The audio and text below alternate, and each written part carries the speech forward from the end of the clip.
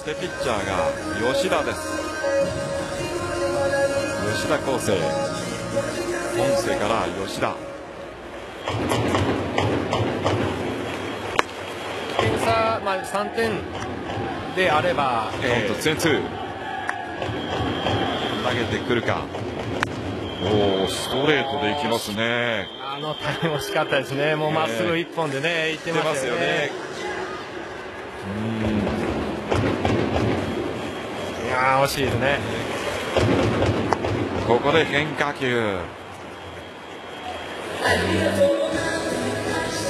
後はフォークボールか。そうですね、い。いところから落ちましたね。はい。ショートゴロ真正面です。でした黒瀬いいボールですね、えー、吉田今度はカーブ。こういうカーブとか見ると、ね、フォークボールもそうですけど持ってる球種の質を見ると、はい、先発やらせて斉藤さんだったらそうなんでしょうね、まあ、今年もね何試合かこう、吉田選手もしましたね、あまりこういい結果が出なかった。吉田をどういうふうにして使っていくかということにもなるかもしれませんがツーアウトランナーなし。